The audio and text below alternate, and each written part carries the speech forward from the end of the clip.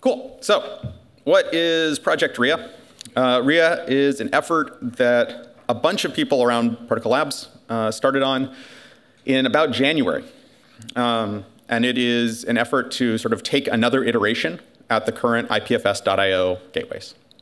So to understand that, that context, like I did on the keynote two days ago, I'm going to dive into what is going on with the gateways so that we can understand what we might want to change with them. So I had a, a picture that looked sort of like this, and this is, this is the, the sort of bulk of requests that are coming in uh, to the to the gateways right now, and so that's where it's meaningful us, for us to, to take some effort to try and change it. You've got a bunch of requests. There are a set of different uh, actual requests that get made, but sort of the most common ones look like IPFS slash CID. Um, some of these have some sort of other things going on around them. They may use an IPNI domain where they've got a custom domain, and so we have to consider and factor that in. There's some you know, edges that go over and ask for API v0 and some other sort of edge cases. Um, and we may have some like things around this CID. So some requests ask for uh, a raw block or a car file version of content directly. Uh, and some uh, requests will not ask directly for the CID, but will use the CID to point to sort of a directory and then ask for a file within that directory. So they'll have a path afterwards. These requests come into a load balancer. Right now, Protocol Labs, uh, for the gateway that we run at ipfs.io, uh, has uh, seven points of presence uh, in Equinix data centers around the world. Uh, requests will come in, they'll hit an Nginx load balancer that will distribute back to a, a bank or a set of Kubo IPFS nodes uh, that then handle fractions of those requests. Um, these IPFS nodes right now are provisioned with pretty big caches. Um, think you know, at least hundreds of gigs of block store. And they're actually serving many of these requests directly from their disk. Right? So, so a lot of requests um, where we're having those direct IPFS nodes just sort of, they already know what that CID is and are able to directly serve it. And when they don't, they, they act like a normal IPFS node uh, they go to the DHT, they figure out other clients that might have it, uh, or they use, in many cases, their existing BitSwap connections um, because we've got relatively high connection limits, so they stay connected to many peers, and so they'll ask over those ambient BitSwap connections to find other IPFS nodes that have the content, fetch it over BitSwap, uh, bring it back. The other thing to think about, right, is where, where is this happening? If we were to access the gateway today, uh, the closest uh, data center that, that there is an IPFS.io termination in uh, is up in Amsterdam. Uh, we're down in Brussels. But when we look at like the route, if you were to trace route, you would see that, that the first thing that happens is that traffic goes to the data center that's about five blocks up from us. So there, there is uh, that, that data center that you can see uh, in yellow up there. That's the, the Brussels uh, Commercial Internet Exchange.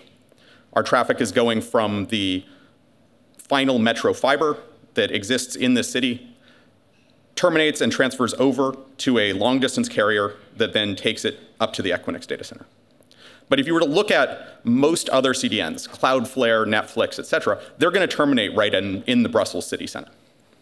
And so if we're thinking about how do we make this faster, the thing we'd really like to figure out is some structure for your request to IPFS.io to also terminate at that local data center or that local internet exchange, right? You, you'd like to have the, the 5, 10 millisecond termination and response to your traffic, especially for common files, rather than that taking 15, 20 milliseconds here and, you know, in general, people will say something like up to 50 milliseconds to get to a data center for your region, right? And so in the structure we've got right now, where we've got these large block stores that sort of need to live in a data center. If, if Protocol Labs was to go and say, okay, instead of having you know, seven points of presence, we're to you know, get 50, we'd still be in big data centers. We'd still be 50 milliseconds away from things. And it would cost a lot. And so we need to figure out, is there some way for us to get this faster speed without it you know, being orders of magnitude more cost to just have that centralized infrastructure? So what, what would a decentralized alternative look like? How, how do we find ways to get to a lower latency for most requests without it being us running a lot of Nginx and a lot of Kubo nodes in uh, not only data centers, but also these metro city level uh, POPs or internet exchanges. So the good news is that uh, from last fall, Protocol Labs launched uh, a CDN, uh, an incentivized, decentralized, incentivized and decentralized CDN called Saturn. Um, and so we might think we can put in Saturn instead of this middle layer of Nginx and Kubo, right? We, we've got on the order of a couple thousand nodes there. They're much closer to, uh, to the end users uh, from the measurements that we've got. Um, and, and so instead of having to, to hit that, you're hopefully uh, hitting some local Saturn endpoint. And then you'd like that Saturn endpoint to be able to fetch from the backing uh, IPFS node, Filecoin node, uh, or other source of content address data. So that's been the basic sort of path that we've been trying to follow is how do we make Saturn work uh, to, to replace this Nginx Kubo mix that we've been using as, as protocol labs for our gateways. Um, this is a lot of people uh, that have been involved in this. I probably missed some, uh, but I just wanted to try and get as many of, of the people who've been involved in doing work on this as I could up here because it's, it's, it's a much bigger effort than me. Uh, I'm just trying to provide sort of a general summary and direction. So we got given three sort of joint goals to, to or goals to jointly optimize around. Um, it's not we're going to do one thing, but we want to do a combination of these three, and we've got some flexibility. One is that we want Filecoin retrievals to become a first-class citizen, uh, equivalent to IPFS retrievals that the gateways do today. So right now, when we look at that path of Nginx going to Kubo, we've got BitSwap really managing a lot of the, the peer selection and how things are going to happen to get that origin content. And so we need to find some way where we can think about getting content both from Filecoin storage providers, but as well as other IPFS peers where, where those are sort of equal choices. We want to, to make that more equal than, than what the IPFS gateways are serving today. We want to validate Saturn as a CDN. So we want to you know, have real traffic going through, prove out um, with, with this IPFS gateway as a customer of Saturn, that Saturn you know, is able to live up to that CDN thing on this scale of traffic. And we want to reduce the, the costs of having these central, relatively high bandwidth Equinix uh, deployments that are serving IPFS.io today. So over, over the next 15, 20 minutes, uh, this, is, this is the set of things that I'm going to try and cover. We've talked a little bit about what is Rhea. Hopefully you've got a sense of sort of the, the general uh, trajectory the, that this set of work is encompassing. I want to talk about what we've been thinking about with trust model, I think that's that's probably the I don't know hairy, but like the the tricky set of problems is what are we trusting? Uh, what are the issues around trust that we've run into? Because that ends up being a lot of what drives design. How we're going about fetching content, the performance that we've got so far and, and that we're sort of looking at. Uh, and then I'll finish by, by going uh, and connecting the various components that are getting built, what we're building, uh, to try and uh, provide some better context for, for the rest of the talks today. So let's talk about trust. When you go and get content in your web browser from IPFS today, those rendered pages that you get back are not always a thing where you can say, okay, I asked for the CID, I got back these bytes, are these bytes actually equivalent to the CID I asked for? Right? I asked for a CID of like this directory. I get this nice, nice rendered HTML page showing the files in the directory. But like, what's, what is my client going to do to know that that rendered HTML page actually like matches the hash of the CID that I asked for in the first place? Um, because there's been some HTML templatey thing that's applied, right? It's it, the the CID that I asked for is not the CID of this HTML page. It's it's of a Unix directory, and then all of this prettiness got returned in the page to make my browsing experience nice. But that's very different from actually direct content address data being returned to me. And so there's, there's then we can say, okay, well, what's different? You know, could we, could we do better? Uh, like, should I be able to verify on the client? Um, and so there's two things to think about here. One is sometimes we decorate the responses, like that pretty HTML page. Um, but then also we'll render a file. And so you'll potentially lose out on metadata blocks. So if I ask for a file on the gateway and I get the image back, The thing I'm not getting, you can look at like the car and the actual raw underlying content address data that that CID maps to. Uh, and you can see, for instance, this is a single text file. And there's three blocks in here. Uh, there's a raw block, which is the actual data. But we're rarely uh, having the gateway actually directly ask for that hash of the raw data. Instead, it's the file below that, which is this DAG PB node that contains the metadata around, okay, this is a file containing these bytes, but it has permissions and it has some metadata around it. And so that's the CID you actually get given after you IPFS add. And so if the file is large, it may actually have multiple chunks of data. So you're asking for a metadata CID that is the top of the Merkle tree of your overall data. You're getting the rendered bytes contained in that file. And from that, are you going to always be able to reconstruct back up to the CID that you asked for? So right now, you could maybe guess. Uh, our chunking isn't, in general, that smart. So you could say, OK, I'm going to try and also re-chunk these bytes I got given at every megabyte and then see if I can reconstruct what a metadata object might be and see if I can get to the same CID and I got the right response. Um, but, but you would have some false negatives. You would maybe try like at different chunks to see, and so you might be doing a lot of unnecessary computation. And in general, this seems pretty uh, sketchy as a, as a way that we would try and do it. Um, and so then there, there's also cases where you just can't, uh, where, where uh, especially if you ask for like a range request, so you get part of a file. Without getting all of the file, how are you going to know what that top hash is going to be? Because you haven't been given sort of enough of the middle pieces, only the bytes of the file, uh, to actually efficiently have any chance of reconstructing up that this is really the right part of the movie that you were asking for. The other thing then is we don't have any real signal. So, so when we think about, okay, so the client gets these bytes, and the client is going to, you know, it, if we were to implement a client-side validation that it's getting the right things by, by trying to rechunk and trying to make sure it's got the right CID, we don't know the client's going to do that. We know that there's a bunch of existing clients that aren't doing that. They're just downloading. And so what they're doing by just downloading is they're implicitly trusting the gateways to render correctly, to give them only the data that they asked for. So we've ended up in a system right now where a lot of clients have implicitly put a lot of trust in protocol labs uh, or the gateway that they're using to give them the right content address data. And that limits us quite a bit in, in taking this current request flow and being able to, to make it uh, less trusted or, or switch where, where that content's coming from. This is in particular interesting as we consider Saturn. So Saturn, as I mentioned, is, is a couple thousand nodes, but they're, they're people who are just running a piece of software. So we don't trust them fully right? If I go to a specific Saturn node, how do I know that that Saturn node isn't going to give me malware back or isn't going to give me, you know, some random bytes back?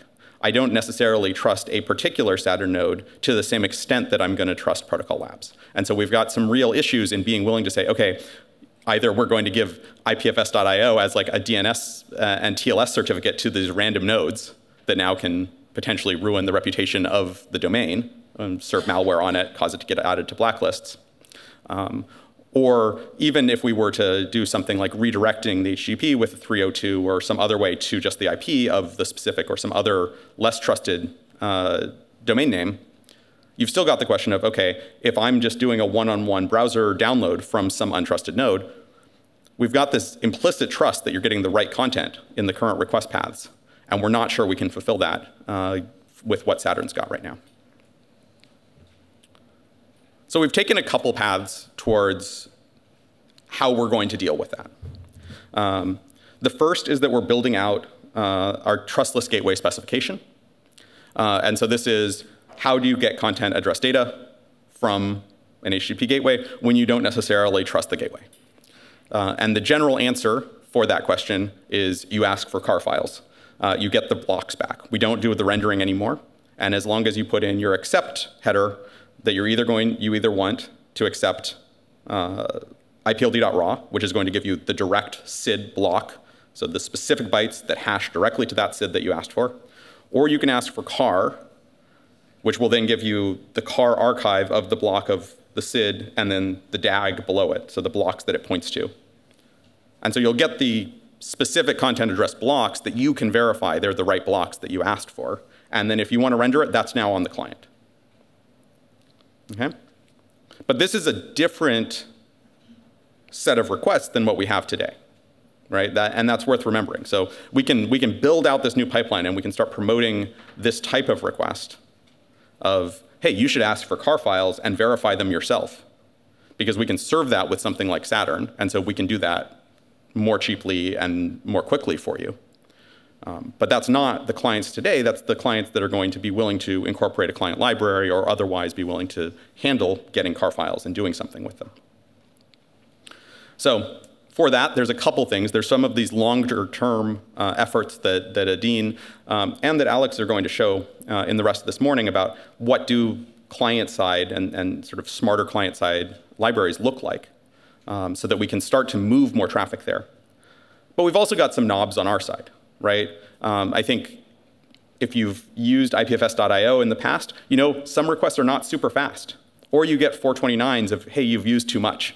We can tune those. We can make it so that your experience on these implicitly trusted things isn't great, such that you're motivated, if you really want your users to be using it, to do the one that's faster and cheaper.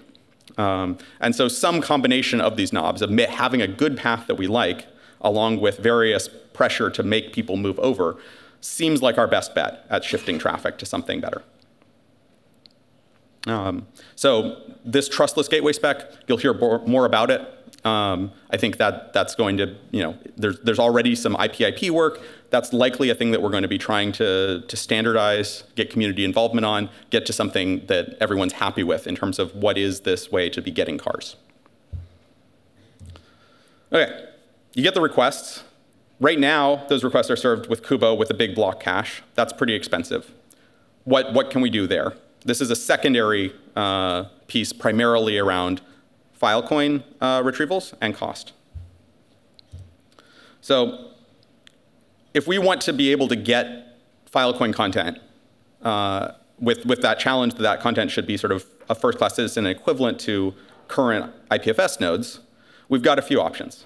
One is we enable BitSwap on Filecoin, and now it, it's all just BitSwap, great, it's all equivalent.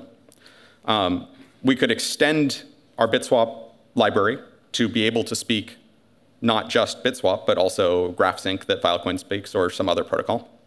Um, and, and so in particular, this is that there's BitSwap, the protocol, and then there's BitSwap, the piece of software implementation that contains not only the protocol, but also a pretty significant scheduler about which nodes should I ask for uh, and when should I ask for blocks from which nodes. And that scheduler is the thing that we need to figure out. Are we, are we doing a refactor? Are we diving into that? Um, or we're going to write another scheduler above BitSwap that's able to do a higher level scheduling uh, between Filecoin protocols and BitSwap protocols. Right? Because the, these are sort of like the three places that you could come in and say, how are we, where are we doing this extension? We're either, we're, we're either going in, or we've got some place that we're going to have to have extensibility. Uh, the current approach has been to use Lassie. Um, Hannah talked about this two days ago, um, which is going to be that higher level scheduler. Uh, and in some sense, you look at that and you're like, okay, so you're adding another layer of complexity. Is this really going to make our lives better? I think that, that, that is a hypothesis that we're, we're hoping that we introduce something that's a little bit simpler as that layer, and then we can iterate on BitSwap, um, but not in the critical path. Um, where is Lassie finding out about peers then? Uh, are we doing that through a BitSwap still? Um, we're, we're currently using IPNI, the network indexers, as a way to offload that peer discovery part. Uh, it reduces the need for all of these thousand Saturn nodes to be querying the DHT all the time, uh, or to stay connected on BitSwap all the time to as many peers. Um, there was, there was a description of, of sort of what this looks like from Masih yesterday in the content routing uh, track that goes deeper. But the basic structure here um, is that when you hit IPNI with a query who has a given CID, um, it then scatters it out to a few things. It's got a local database called Store the Index um, that is stuff that's been published into IPNI. It has a accelerated DHT client uh, called uh, Cascade DHT um, that already has a full DHT routing table and so is able to do a one-hop query of someone who uh, has that part of the, the DHT space to ask them Uh, so it's able to do that reasonably efficiently for a DHT query. Um, and then it has uh, a piece of software that we built uh, over the last month, uh, thanks to Masih also, called Cassette, that stays connected to a set of BitSwap peers and, and sort of cascades the query uh, to them. But now that happens from only, I think, we've sort of got one cassette primary peer ID. So all of these thousand nodes appear as one query stream that, that's able to batch. so you get a BitSwap uh, want have with you know that second worth of all of the CIDs that various peers want. Um, and, and that's then the, the way that it cascades back when, when content isn't available either through IPNI or to the DHT. Um, the, the sort of high level of what Lassie is doing is it gets in requests for a DAG. Um, it's got a sub system called the candidate finder that is going to the uh, to IPNI to, to find peers that are potentially interesting. That comes back as a stream of, of found peers. And then as these candidates come in within the scope of that session, as soon as it get, gets one for BitSwap, it starts a BitSwap session to begin trying to get those blocks on BitSwap. Uh, if it sees them uh, over GraphSync, it'll start up a GraphSync uh, query to try and get them. Um, there's a little bit of session logic there of should we be duplicating? Should we, you know, okay, I started on GraphSync, but it hasn't really started. Maybe we should also spin up BitSwap. Um, and that's likely to evolve. This is that level, level above the BitSwap scheduler. Uh, and so that's, that's likely going to, uh, as we add complexity there, we'll be able to potentially then remove it from the BitSwap layer. So that's the basic structure of what's going on in these nodes. The nice thing here, uh, and this is really just reiterating a lot of what Hannah was saying um, in introducing Lassie two days ago, is that we're doing less sort of stable state ongoing traffic than what previously has been happening uh, on Kubo uh, in, in this Nginx Kubo deployments. We don't have a 200 gig block store that we're maintaining and paying for storage on. Um, and uh, we, we aren't sort of needing to stay connected to all of the BitSwap peers for performance uh, is, is the hope longer term, that these are just doing retrievals uh, and are able to be a little bit uh, lighter weight, uh, essentially. So we can, we can look at sort of what that looks like in terms of caching and performance to see where we are right now. Um, just to, to provide sort of a, a, basic diagram of comparison of what these request flows look like. Um, I think this is, this is sort of a useful thing. The top line is what we have today, right? You're, you as a client, you hit the Nginx Kubo in an Equinix data center, which then goes back to the origin potentially, or hits it, or is able to serve from cache locally. The, the middle line is how this changes for the current request flow.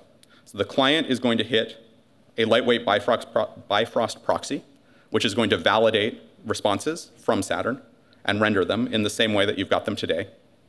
Saturn is going to fetch it and return the cars back to that Bifrost proxy, um, and then get it from the origin when it needs to. The bottom one is for new verifying clients that'll be able to go to Saturn directly. So they'll directly get this car file from Saturn. And so you'll be able to skip having to go through these PL-operated centralized uh, Bifrost proxies.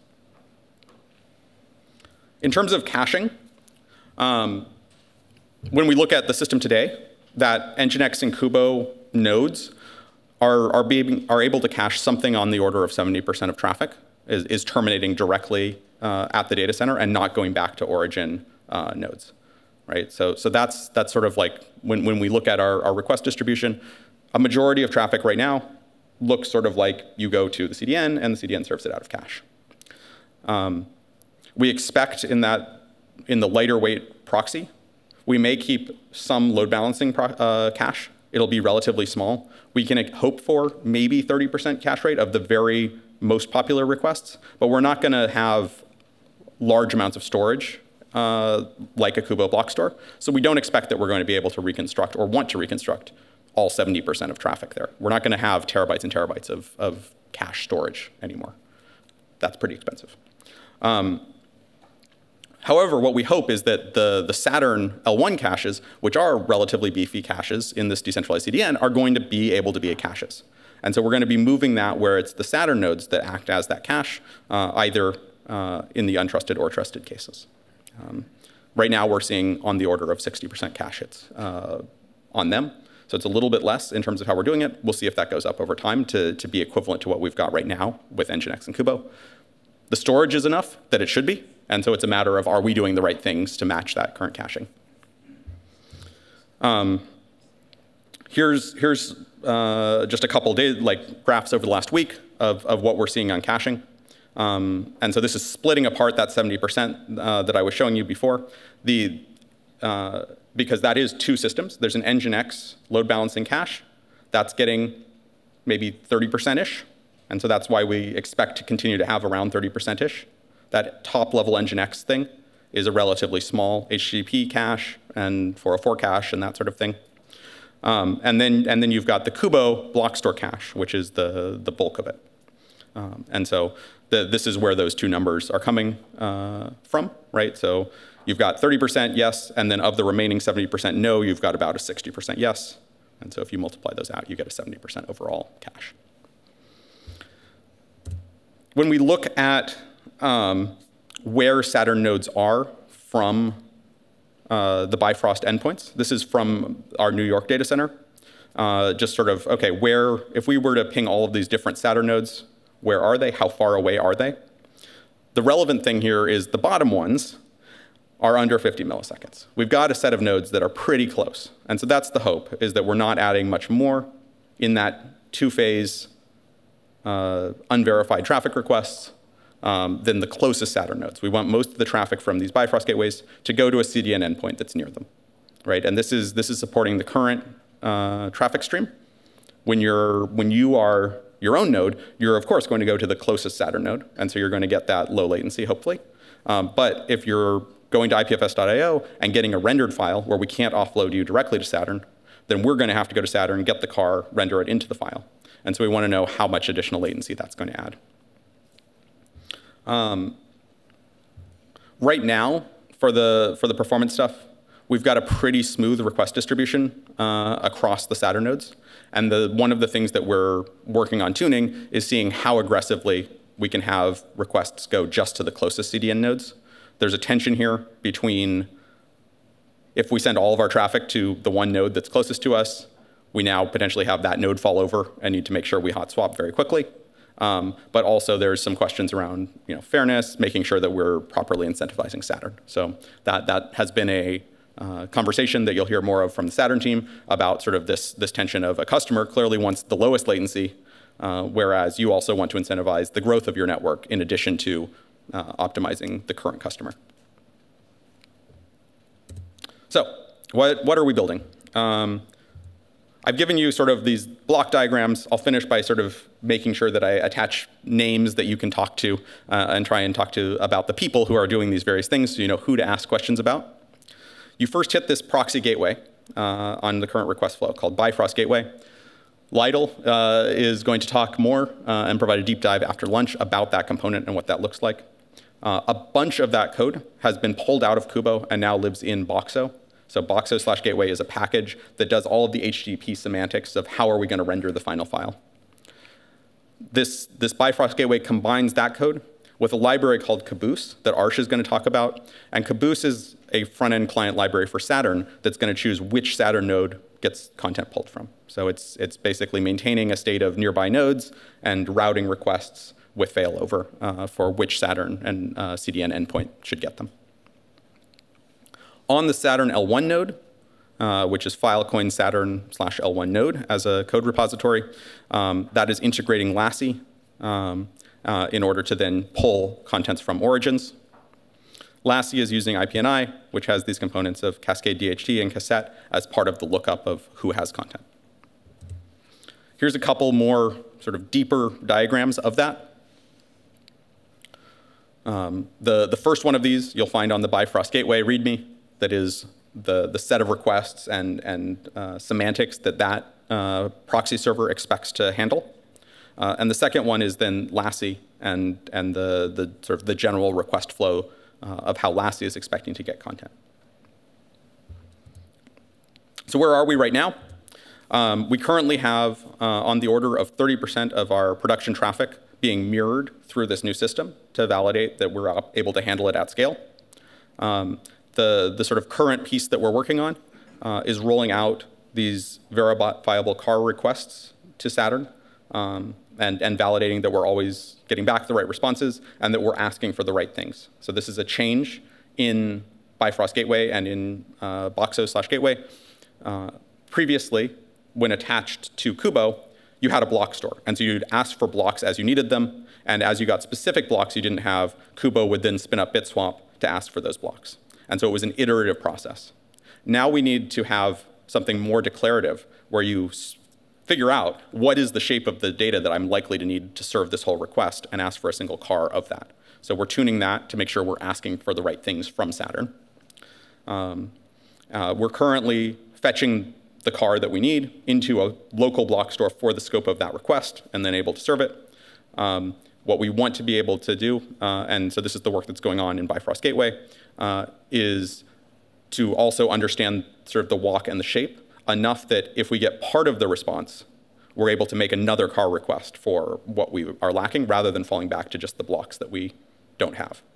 So right now we, we've got enough to know the shape of the overall thing that we need, but if we get part of the response and then are we able to subtract that and figure out a single next request that we need to make as opposed to all of the individual blocks. And that's where it gets a little tricky. Uh, we're probably not, I think, expecting to get that fully solved of always being able to ask for one more thing of the full remaining weirdly shaped remainder. Um, but we should be able to do better than we are now.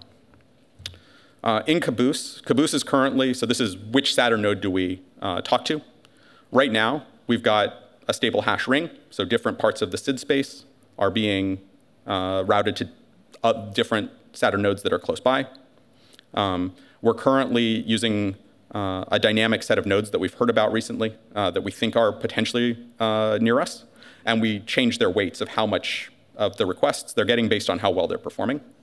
Um, what we'd like to do uh, is reduce that churn, because right now that means that there's some fraction that are sort of trial nodes. So we, we hear about someone, we don't know if they're good. We add them with a small slice of, of requests to see if they're good and then weight them down or weight them up based on how well they perform. But that means some of our production requests are going to a node that's potentially pretty far away. We'd like to get rid of that so that all of our requests go to close by known good nodes, and then we maybe mirror some of the traffic to some trial nodes to see if we should include them. Um, the work within Lassie, so this origin fetch uh, component, um, currently um, we've been identifying places where we're overfetching. So if, if we get asked for you know, blocks, are we going to pre-fetch additional blocks expecting that those will also be asked? Um, and other cases where we've ended up having more load back to origins than we were expecting to make sure we're doing the right fetches that we intend to be. Um, I think we're, at this point, largely happy with the amount of traffic that we're generating from Lassie. Um, and so the, the next piece of work that that component is working on is including an HTTP transport alongside Bitswap uh, and GraphSync so that we can uh, fetch from uh, a set of HTTP trustless gateway providers. Um, there's there have been a couple origins that have said that it's much cheaper for them to serve an HTTP gateway than a Bitswap uh, origin, and so we want to support that as well using the same trustless gateway spec. Um, if you want to see more about where things are and how they progress over the next month, um, there is a public Notion page uh, that is uh, extremely detailed with uh, all of the specific uh, line items that are happening each week. Uh, you're welcome to follow that with whatever level of detail you wish. Um, it, at its most, is probably too much information for any of us, but it, it does contain a really detailed progress in public of how this effort is going. So that's what I've got to say about Rhea.